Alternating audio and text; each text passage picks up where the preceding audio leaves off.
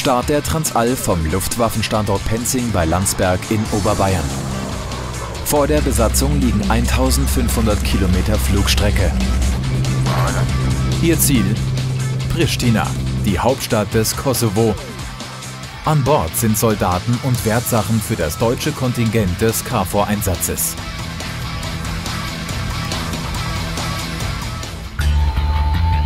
Im Cockpit befinden sich auf dem linken Sitz der Kommandant, rechts der Co-Pilot, in der Mitte der Bordtechniker und im hinteren Bereich der taktische Systemoffizier, kurz TSO. Eine ungewöhnlich große Cockpit-Crew für die heutige Zeit, in der sich zwei Mann-Cockpits durchgesetzt haben, aber die militärischen Aufgaben und das 50 Jahre alte Flugzeugkonzept erfordern vier Mann. Wir sind gerade auch im Lufttransport voll die Teamplayer. Äh, wir sind aufeinander angewiesen und äh, es ist egal, ob jetzt Kommandant, Co, TSO, ob ein Bordtechniker oder Ladungsmeister. Jeder macht seinen Job und wir halten sehr eng zusammen. Und das ist genau das, wo auch Dienstgrad keine Rolle spielt, sondern es ist einfach das menschlich miteinander auskommt und seinen Job so professionell wie möglich zu machen. Und letztendlich sind wir nur Serviceleister. Wir leisten den Service für das Heer, für die Marine, für die Luftwaffe Material oder Personal von A nach B zu transportieren. Der Flug von A Deutschland nach B das Kosovo führt über die Alpen. Die Piloten können mit der Transall nicht so schnell und hoch fliegen wie mit einem Jet. In 6000 Metern Höhe und mit maximal gut 500 km/h wird es eher gemächlich vorangehen. Die alte Maschine ist bei den Besatzungen trotz der eingeschränkten Leistung beliebt.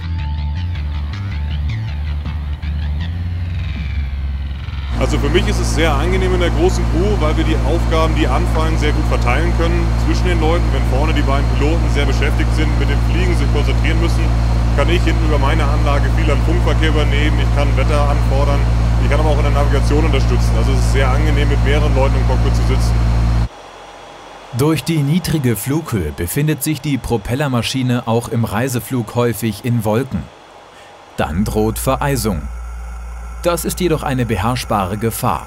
Die Piloten erwarten heute keine Schwierigkeiten und gehen davon aus, dem Ruf der Transall als zuverlässigem Lastesel gerecht werden zu können. Wenn wir Leute aus dem Einsatz rausfliegen, aus Kundus raus, äh, aus Kabul raus, von Massa zurück nach Termis, wo sie dann in den Airbus einsteigen, oder jetzt hier von Pristina zurück oder früher von Sarajevo, äh, merkt man doch, dass die Kameraden daran hängen und auch wirklich sich freuen, wenn die Maschine pünktlich kommt, pünktlich rausgeht und sie pünktlich zu ihren Familien kommen besser zu als zu ihren Freunden. 5000 Kilometer östlich, Afghanistan.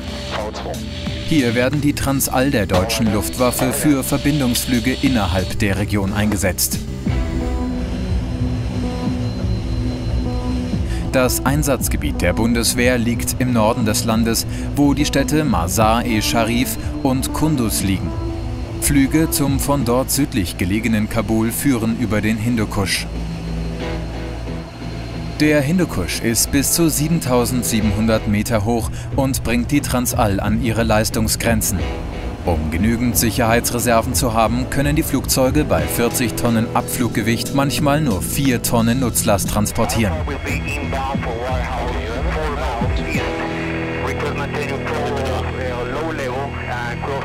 Für die Luftwaffe ist die Transall trotz der Einschränkungen unverzichtbar und die Besatzungen wissen die Möglichkeiten der Maschine zu nutzen. In Kabul gibt es viel militärischen Flugbetrieb, aber auch die zivile Luftfahrt ist nach Afghanistan zurückgekehrt. Auf Jahre hinaus werden allerdings die Militärmaschinen das Geschehen noch dominieren, vor allem was Truppentransporte betrifft. Die Verantwortung für die Besatzung ist dann noch größer, als wenn sie nur Ausrüstung dabei haben. Bis zu 93 Personen kann die Transall befördern. Man muss sich auf alle verlassen können und das ist keine One-Man-Show, wir spielen alle zusammen und äh, ich bin zufrieden mit der Crew, ich kann mich darauf verlassen und ich hoffe, dass sie das selber auch von mir sagen können. Die Einsätze der Transall in Afghanistan begannen zehn Jahre zuvor. Aufgrund der Sicherheitslage wurde der Luftwaffenstützpunkt nicht in Afghanistan, sondern im benachbarten Usbekistan eingerichtet. Von Termez sind es 500 Kilometer nach Kabul. Eine relativ kurze Strecke, Doch der Hindukusch und die militärische Lage machten die Flüge zu großen Herausforderungen. Besatzungen und Insassen wussten, am Zielort werden sie nicht von allen freundlich empfangen, im Gegenteil mussten sie damit rechnen, beschossen zu werden.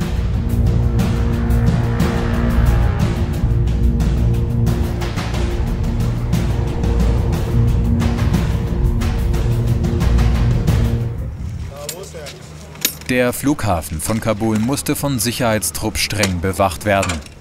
Scharfschützen waren mit gepanzerten Fahrzeugen rund um das Gelände im Einsatz. Es war damit zu rechnen, dass Taliban-Kämpfer bis zum Flughafen vordringen wollen. Die Trupps hatten die Aufgabe, Flugzeuge und Flughafen abzusichern.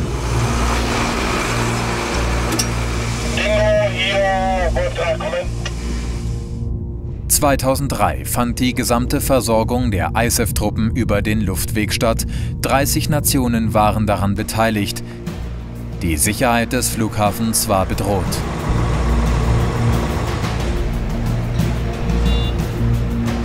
Der Weg in die Berge führt durch die Innenstadt von Kabul. Die Jahrzehnte von Krieg und Zerstörung hatten deutliche Spuren hinterlassen. Zerschossene Fassaden, eingestürzte Betondecken. Klar war, der Weg zur Normalität wird noch sehr weit sein.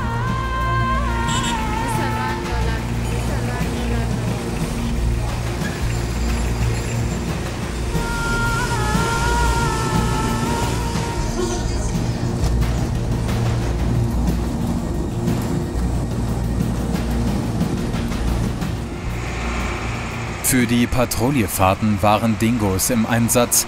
Die bewaffneten, gepanzerten Fahrzeuge erwiesen sich in den darauffolgenden Jahren als sehr robust und dienten nicht nur zum Schutz des Flughafens. Die Truppe wollte jeden Tag Flagge zeigen, wie man im Fachjargon sagt. Dabei wussten die Soldaten nie genau, was sie erwartet. Wenn sich die Scharfschützen aufbauten und ihnen näherte sich jemand, konnte es ein einfacher Hirtenjunge sein oder ein Attentäter.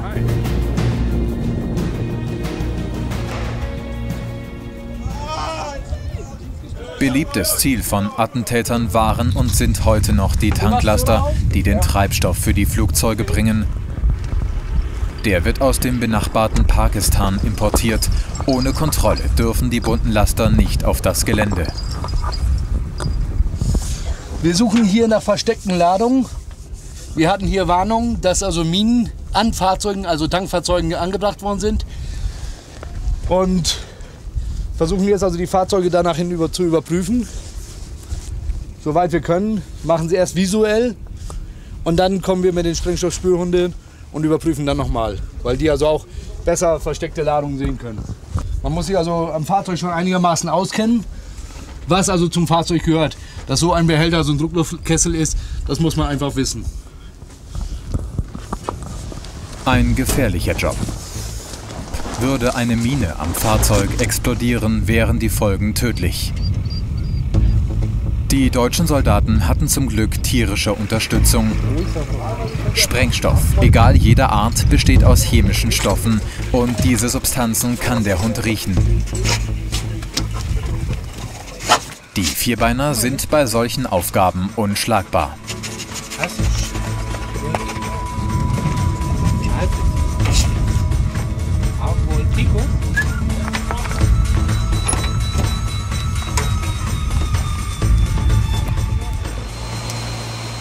Von Anfang an wurde ein großer Aufwand betrieben, dass anfliegende Maschinen wie die Transall gar nicht erst unter Beschuss gerieten. Trotzdem minimieren die Piloten durch das Anflugverfahren zusätzlich die Risiken. Sie landeten mit dem Sarajevo Approach, der sich bereits im ehemaligen Jugoslawien bewährte. Wir werden, solange es geht, hoch bleiben, um von Handfeuerwaffen entfernt zu bleiben und auch so lange wie möglich Energie in der Maschine haben, um auch manövrieren zu können, sollte mal eine Rakete angeflogen bekommen. Die Soldaten behielten den Flughafen und seine Umgebung aus erhöhter Position im Blickfeld. Es kam zu kritischen Situationen wie dieser. Ein Fahrzeug, das niemandem zugeordnet werden kann, erweckt das Misstrauen. Per Funk fragen die Soldaten zurück, was sie tun sollen. Niemand will einen Fehler machen.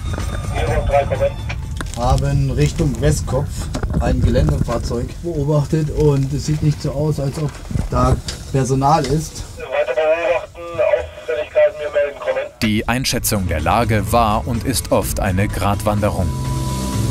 Eine Stunde braucht die Transall, um den Hindukusch zu überfliegen. Die Berge vor Kabul sind hoch. Sehr hoch, 17.000 bis 18.000 Fuß. Wir haben eine Flughöhe von 20.000 bis 21.000.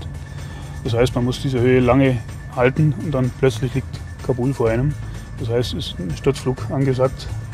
Aber da ist die Transall in ihrem Element. Also im Steigen sind wir schlecht, aber im Sinkflug mit Luftbremsen Dann der Sarajevo Approach. Die Triebwerksleistung wird gedrosselt, die Luftbremsen ausgefahren, die Nase der Transall zeigt steil auf afghanischem Boden, wenn es mit 12 Grad Anflugwinkel nach unten geht.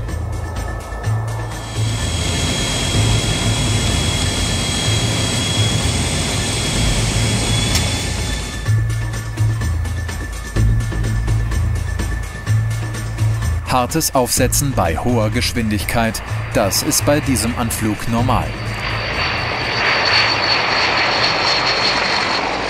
Wieder einmal gut gegangen. All die Vorsichtsmaßnahmen und das Training zahlten sich aus.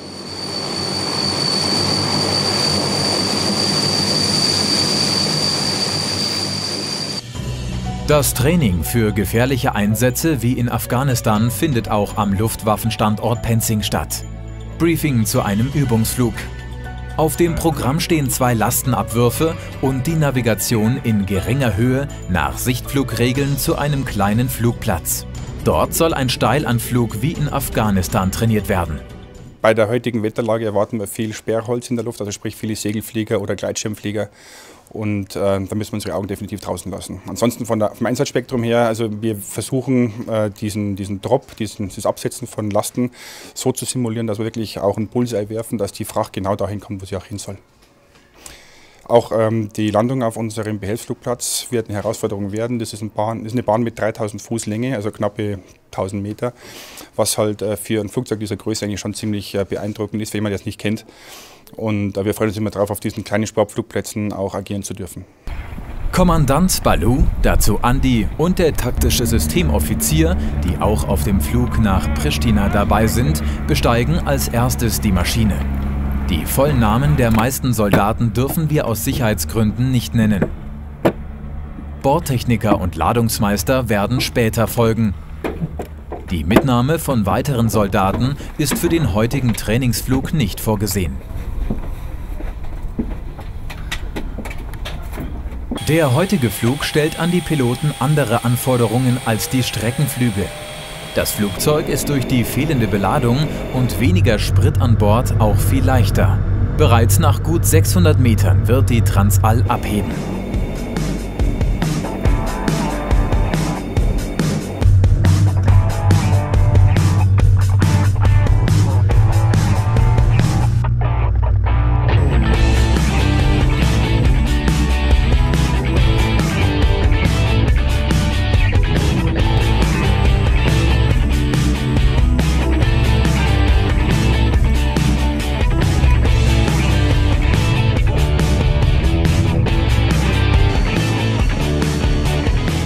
Kurz nach dem Start geht es auf Südkurs zum Abwurfpunkt der ersten Spezialaufgabe des Fluges.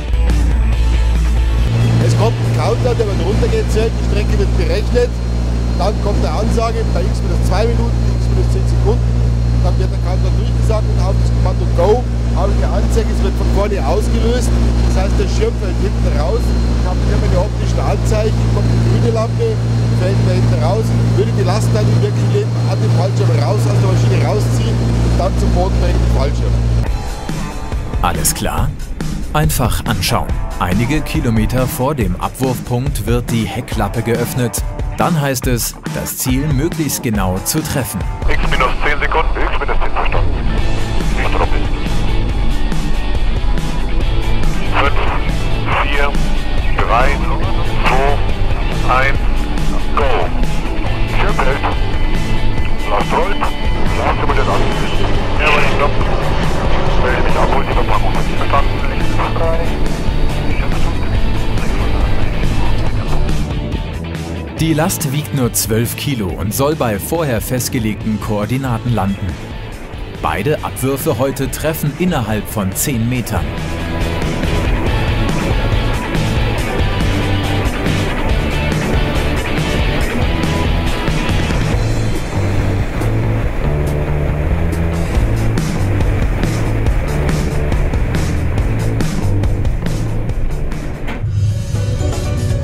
Kommt die nächste Aufgabe des Tages.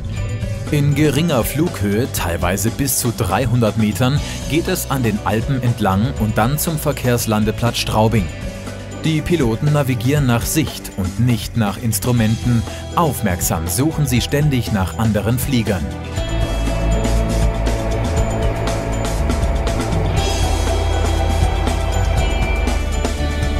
Dann die Landung.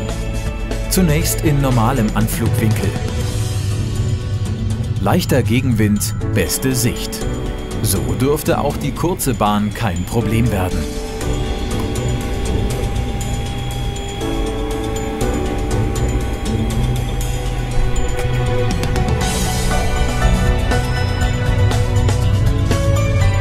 Die Piloten steigen nach dem Aufsetzen in die Eisen. Mit Umkehrschub und voll ausgefahrenen Klappen ist die Maschine bereits nach 600 Metern so langsam, dass sie von der Piste abrollen kann.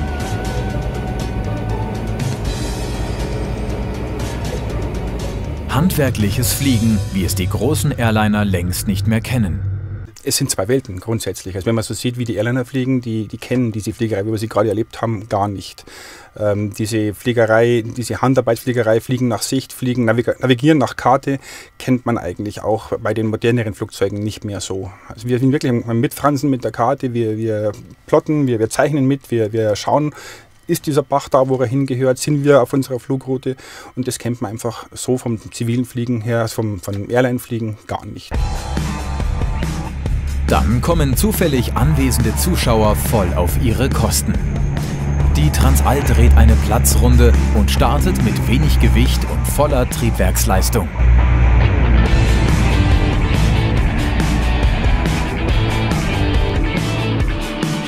Bei der Landung trainieren die Piloten den Steilanflug. Nach kurzem Abfangbogen setzen Bug und Hauptfahrwerk fast gleichzeitig auf wieder eine Vollbremsung und nach 500 Metern kommen gut 30 Tonnen zum Stehen. Was hier vor allem Spaß macht, kann in Afghanistan überlebenswichtig sein. Uh, unser Bedrohungsszenario in Afghanistan ist der allgemeine Mensch, der da unten, der Taliban, der die, der eine Kalaschnikow hat und der auf uns schießt. Der sieht uns und, und schießt auf uns. Diese ganzen anderen Waffen, die man so aus einem normalen Kriegsszenario kennt, äh, sind da unten eigentlich kein Faktor mehr für uns. Und dieser Sichtanflug, dieser steile Sichtanflug hält uns so lange wie möglich aus dieser Bedrohung raus.